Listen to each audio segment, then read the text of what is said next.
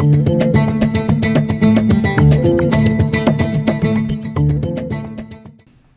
it's a great honor to be invited to participate in this uh, announcement of a, a boat to Gaza, which is, as far as I'm concerned, a boat for peace, a boat to recognize the human rights violations that are occurring uh, the people living in Gaza.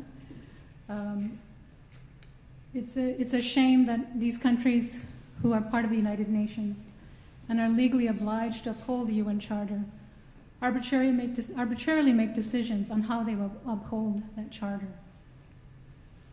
That charter, it says in its preamble to practice tolerance and live together in peace with one another as good neighbors. And it's about time that the people in Gaza and Palestinians be able to live in peace. As others have said before me, it is about human dignity, it is about human justice. As an indigenous person who has had laws imposed upon us, have had uh, colonization and oppression, and still today colonization exists and assimilation policies exist, I can understand the frustration that people feel.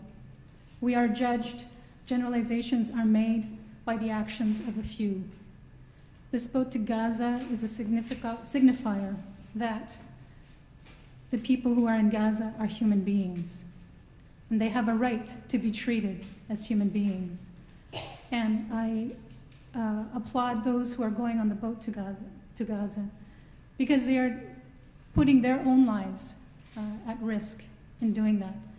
And that should signify to all of us that people are still willing to fight for justice.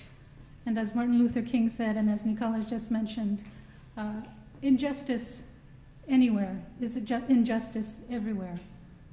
And I want us to think about those children who are the most helpless in all this whole affair. We need to think about those children and how they will be affected and are being affected. We should always think about them, and we should all learn about international human rights law and instruments, and that all states should be required to uphold them in the highest standards for dignity for all. So thank you very much, and uh, all the best to those traveling.